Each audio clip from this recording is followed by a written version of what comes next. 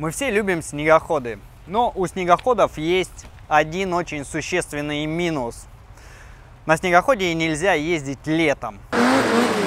Не, вообще можно ездить летом, но недолго. Я на сервис. И найти замену снегоходу летом, по крайней мере, мне не удалось. Вы вообще сюда поехали! Олег, Олег сказал! Она не может здесь ездить! Квадроциклы, гидроциклы сидячие, стоячие, мотоциклы. По ощущениям, это совершенно не то, нежели управление горным снегоходом в глубоком снегу. В глубоком снегу управлять снегоходом это, мне кажется, абсолютный кайф. И все снегоходчики к этому стремятся, все едут за снегом. Три года назад я решил проблему летней эксплуатации снегохода. Я выехал на снегоходе на воду. Да, снегоход может ехать по воде. Это был отдельный проект, и про это есть отдельная серия видео, про то, как я его строил. Господа, Сейчас у нас стадия герметизации подкапотного пространства. Как у меня не получалось, как потом в итоге получилось. Мы нашли нужную конфигурацию, и снегоход поехал по воде. И отдельно хотелось бы сказать спасибо за помощь в постройке снегохода моему другу Андрею Маркову и мотосервис Сервис Station, что на водном канале в Санкт-Петербурге. Отличный сервис, рекомендую. Это был очень сложный технический и финансово емкий проект, потому как на тот момент в России этим практически никто не занимался. В Финляндии, Швеции, Америке и Канаде есть даже отдельное направление спорта, называется ватеркросс, где проводятся соревнования, есть клубы, есть мастерские, которые занимаются подготовкой снегохода для езды по воде. У нас в России этим занимается полтора человека. Иногда проводятся соревнования, но серьезно к этому никто не подходит. Это выглядит примерно так, что вот у меня есть снегоход, я катаюсь зимой, а что же делать летом? Все скучно, скучно. А давай-ка я подготовлю снегоход, а, залеплю все скотчем и попробую проехать там речку или карьер, или озеро, какой-то водоем, который есть поблизости.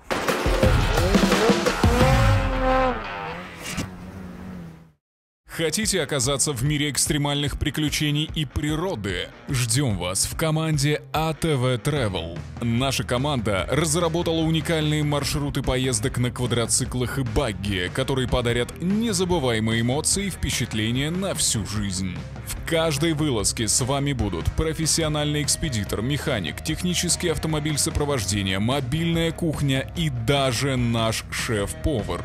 Только у нас трансфер вашей техники до места старта и обратно, уникальные локации и вкуснейшая еда на всем маршруте. Напишите нам прямо сейчас, чтобы узнать больше о грядущих путешествиях. Вас ждут экстрим и эмоции, которые вы никогда не забудете. Есть свободные места на ближайшие даты, количество участников ограничено.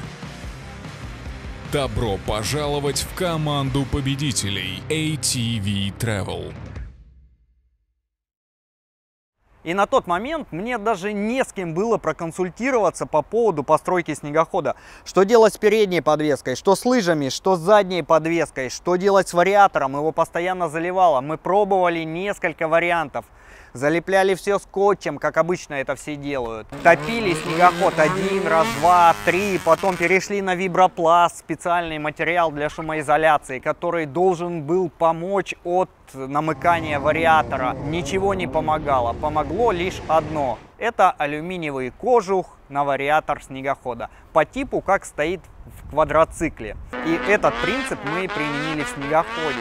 Попробовали, и, о чудо, снегоход поехал. Ну все, отлично. Первый заезд удачный.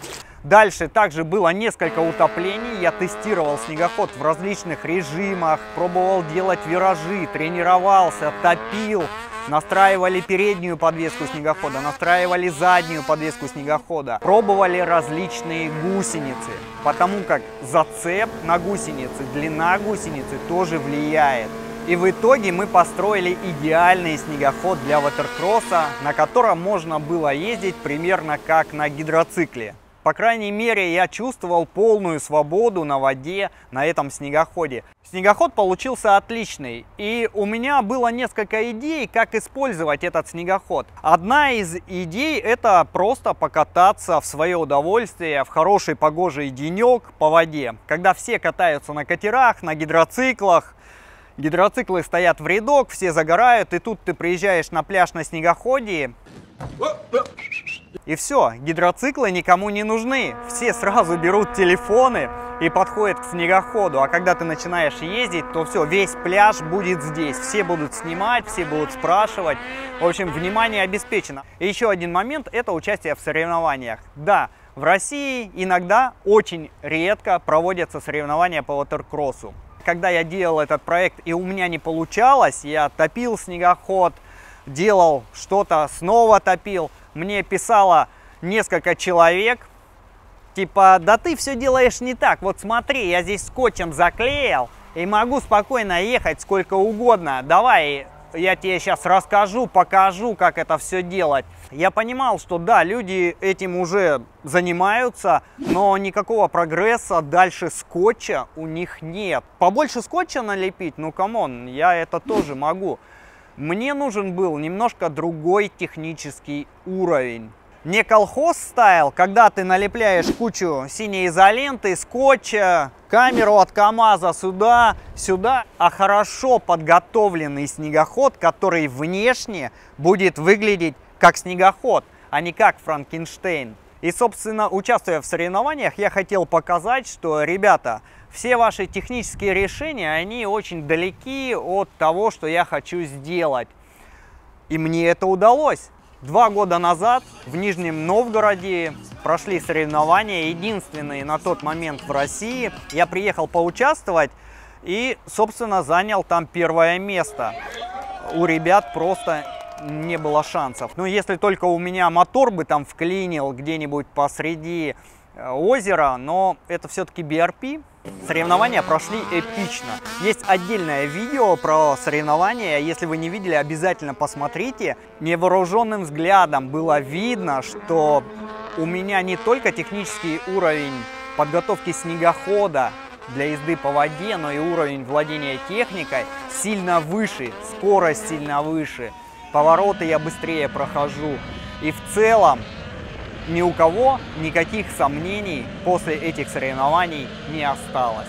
И на тот момент я закрыл тему с ватеркроссом. Ватеркросс мне стал в принципе неинтересен. Я эту тему немножко отпустил. Я потестировал еще разные гусеницы от завода Композит, уменьшил зацеп, увеличил зацеп, пришел к выводу, что маленький зацеп тоже не очень хорошо, большой еще хуже. Но тут появилась новая цель. Я соревновался со 170-сильным гидроциклом Сиду, и он уходил от меня просто в точку.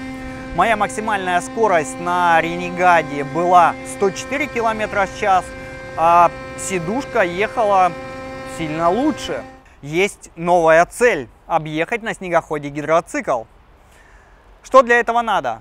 Мощный двигатель. У меня был 800 E-Tech, Renegade, 137 гусеница. Объехать гидроцикл не удалось. И я подумал, наверное, нужно повышать мощность двигателя, потому как игры с гусеницами, с передаткой ни к чему хорошему не привели. Снегоход едет хорошо, но скорость не растет. Со стандартным 800 E-Tech уже ничего не сделать, поэтому я принял решение продать тот снегоход. К осени сделал из него снегоход, который ездит по снегу, то есть вернул в полностью стоковое состояние. И этот снегоход плавно перешел к академику. Да, значит, мы оказались здесь, э, в дилере Pride Лахта, в котором уже мы, кстати, брали Маверик и все остальное. И с нами есть Алексей Новик. Это человек на самом деле, хоть и выглядит скромно, но э, достигший немалых высот. И Константин до сих пор ездит на этом снегоходе, и он у него не сломался. Значит, мы хорошо сделали мотору этого снегохода. Удивительно. Снегоход продан, и тут я начинаю искать новый снегоход уже на 850-м Етеке. Желательно, опять же, Ренегат, потому как 137-й трак я считаю, что самый идеальный вариант для ватеркросса. Длинные траки все-таки не очень хорошо подходят, потому как вода на скорости, она очень вязкая. И длинному траку тяжело вращаться в воде. Опять же, почему высокий зацеп не подходит? Скорость на воде с маленьким зацепом будет всегда выше, чем с большим. Просто двигателю не будет хватать мощности, чтобы перелопатить вот эти зацепы, вот эту воду, которая попадает в гусеницу, в зацепы. Но, как показали поиски всего прошлого года, ренегадов продавалось полторы штуки за весь год. Их в принципе не было, и цена им была 2 с лишним миллиона. В принципе, люди даже не хотели торговаться. Вот 200, пожалуйста, бери, пробег 1000 километров. Ну, естественно, для воды такой снегоход брать, ну, не очень целесообразно. В прошлом году компания BRP встает на лыжи и уходит из России. И остается тестовый парк. Остается тестовый парк, а в тестовом парке мы знаем, какие снегоходы. Они все убитые, потому что на них, во-первых, покатались блогеры и журналисты, пресса. Это так называемый пресс-парк, который выдают, когда проходят какие-то обзоры или когда кто-то просит на обзор снегоход ему его выдают, и, естественно, люди там не жалеют технику. Бьют, перегревают, делают с ней все, что хочешь. Во-вторых, на этом тестовом парке покатались продвинутые топ-райдеры, которые точно так же ушатали эту технику. Причем эксплуатировали ее очень долго и серьезно. Собственно, тестовый парк остался, и BRP, так как они уходят, начали его распродавать. Как это делается? Обычно рассылается предложение всем дилерам. Весь тестовый парк распродали. И осталось несколько снегоходов, которые никому не нужны. Ни один из дилеров не изъявил желания приобрести их, потому что они были очень сильно ушатаны. Дилеру нужно было еще вложить много денег, чтобы привести его в нормальное состояние, чтобы не стыдно было продавать. И получалась такая цена, по которой, в принципе, снегоход не продать. И в конце прошлого лета, как раз вот когда парк распродавался, я случайно от одного из дилеров узнал, что парк продается. Я обратился в BRP с просьбой продать мне один из каких-нибудь супер-мега ушатанных снегоходов. Собственно, вот этот снегоход. BRP Skidu Summit в комплектации Эксперт Платформа G4 850 E-Tech, и на нем нет ни одного живого места. Нет ни одного целого пластикового элемента. Рычаги стоят воевода, все гнутые винтом. Бампера стоят воевода. Панель есть, но ее сейчас здесь нет. Отсюда приборка ездила на моем зимнем снегоходе лыжи протертые, гусеница полностью ушатанная, там, наверное, 50% нет зацепов. Пробег у этого снегохода четыре с половиной тысячи километров. За четыре с половиной тысячи километров его ушатали до такого состояния, что он никому не нужен был. И реально его вот сейчас, чтобы восстановить до состояния, чтобы можно было продать в рынок, ну, в рынок уже никогда не продашь его. Единственное, что здесь было целое, это двигатель и вариатор. Что мне и нужно было. Хоть пробег здесь был 4,5 тысячи, но вот эти агрегаты, они были на удивление целые. Ротоксы, живучие моторы, но все равно за зиму мы сняли двигатель, разобрали, посмотрели, что у него творится внутри. За четыре с половиной тысячи у него не было никаких проблем внутри, все подшипники работали, колено смазывалось. Единственное, что сервис рекомендовал заменить, это поршни. Мы заменили поршни, поставили новые, оригинальные, все как я люблю. Немножко его обкатали, и сейчас технически двигатель и вариатор – и коробка исправны. Ну, насколько исправны, это мы еще посмотрим. И на данный момент этот снегоход имеет практически новый двигатель. Правда, не обкатанный. Исправный вариатор, исправную коробку. И, собственно, больше-то от этого снегохода мне особо ничего и не надо. И сегодня мы стартуем новый проект снегохода по воде. Снегохода для ватеркросса.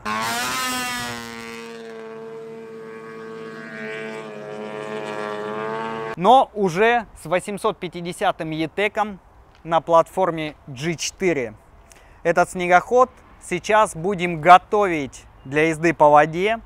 Будем изменять переднюю подвеску, изменять заднюю подвеску. Будем делать новый короб на вариатор. А на вариатор 850 ETEC сделать короб очень сложно, потому как расстояние от двигателя здесь всего 0,8 мм. И придется применять какие-то новые технические решения. Рельсы другие будут ставиться 146 гусеница, другая Композит S38 куплена уже она. Естественно, будет перенастраиваться подвеска, меняться амортизаторы. Здесь, кстати, амортизатор тоже ушатанный.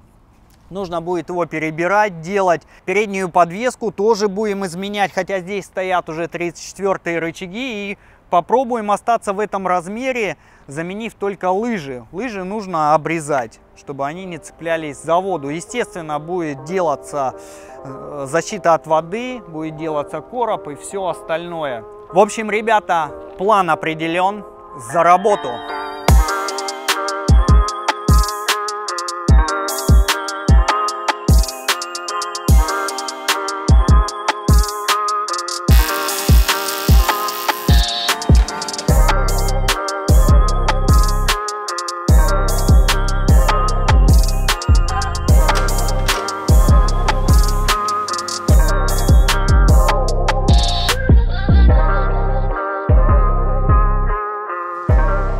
Момента прошлого включения прошло около месяца. Не быстро делается снегоход, но уже готов кожух вариатора, самое главное. И с этого мы и начали. Задняя подвеска еще стандартная, потому как подвеску поменять в принципе проблем нет, а вот кожух это очень серьезная вещь, которую нужно сделать в первую очередь.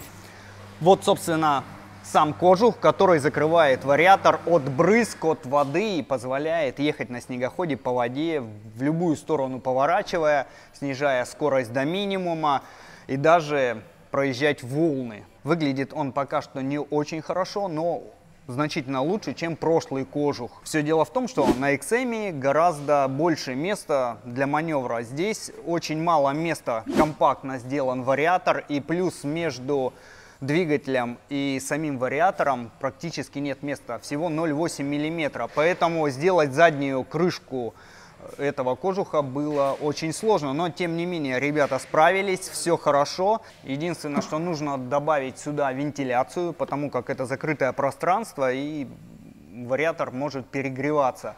Конструктивно когда здесь стоит пластиковый кожух и мы катаемся зимой, здесь есть вентиляция, которая подает воздух, охлаждает вариатор.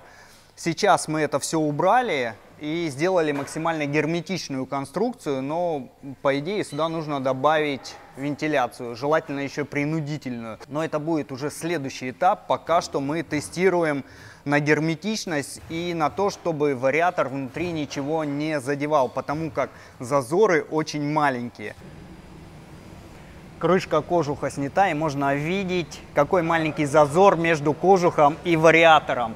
И вот здесь уже начинается двигатель. До двигателя очень мало места, все сделано очень компактно, но пока ничего не трет. Конечно, в боевых условиях мы проверим, посмотрим, где что задевает, но я надеюсь, что ничего не будет задевать.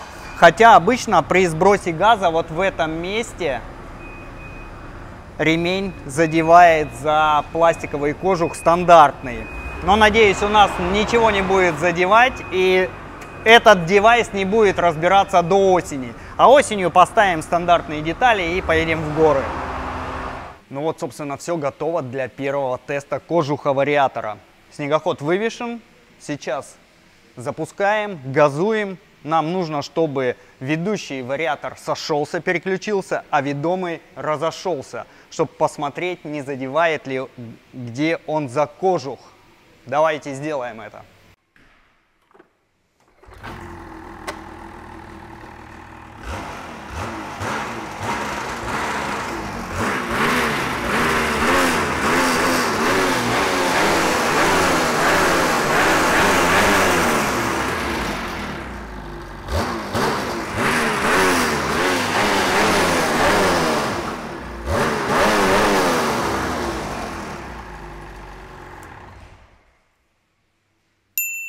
Все отлично. Вариатор не задевает и, соответственно, кожух работает. И к тому же он еще герметичный. И еще в кожух нужно будет установить датчик температуры ремня. Причем не простой, а инфракрасный, чтобы следить за температурой именно ремня, а не воздуха в кожухе. Хотя, в принципе, и воздух тоже интересно было бы посмотреть, сколько он здесь нагревается. И это, я думаю, что нужно сделать, наверное, до установки вентиляции. Чтобы посмотреть, вообще нужна вентиляция там или нет. Потому как в прошлом кожухе у меня не было вентиляции, и он работал нормально. И там стоял датчик температуры, и температура больше 80 градусов редко поднималась, потому как э, все-таки долго не ездишь на полностью открытом дросселе, едешь всегда где-то в середине оборотов, и нагрузка на вариатор особо не идет. Итак, первый этап работ закончен, кожух есть, это считай, что 90% что снегоход поедет по воде без проблем. Без кожуха все остальное бессмысленно. Самое главное это кожух. Кожух сделан, и теперь переходим к следующему этапу работ. Это задняя подвеска. Задняя подвеска стандартная вся выбрасывается. Вместо стандартной 154 подвески сюда установим 146 подвеску, рельсы 146 дюймов и гусеницу композит S38, полтора дюйма зацеп у нее будет. Далее, боковой выхлоп нужен обязательно, потому как обычный выхлоп выходит вниз, и здесь у нас создается место, куда может попасть вода. Соответственно, стандартный выхлоп выбрасываем, ставим прямоточный с выводом в бок. А снизу снегохода подшиваем все полиэтиленом низкого давления, ПНД. Также все промажем герметиком, чтобы нигде вода не попала в моторный отсек. И еще нужно будет сделать некоторые манипуляции с капотом. Во-первых, капот у меня сломанный. Нужно будет заклеить вот эту вот пробоину, потому как сюда может попадать пыль, грязь, вода, все что угодно. Демонтируем фару, она нам просто не нужна. И, соответственно, максимально облегчим. Хотя он здесь уже весь облегченный, да нельзя. И еще и прожженный. Это, видимо, здесь стоял когда-то титан, и все обломано. Но, тем не менее, все это сделаем, поставим, установим. И уже в следующих сериях, я думаю, что мы выйдем на воду и потестируем этот снегоход. Но это будет уже в следующей серии. Если у вас есть какие-либо комментарии, пожелания, либо замечания по данному виду подготовки снегохода для ватеркросса, welcome комментарии. Давайте откроем дискуссию и поговорим о том, как нужно делать снегоход для ватеркросса. Всем пока!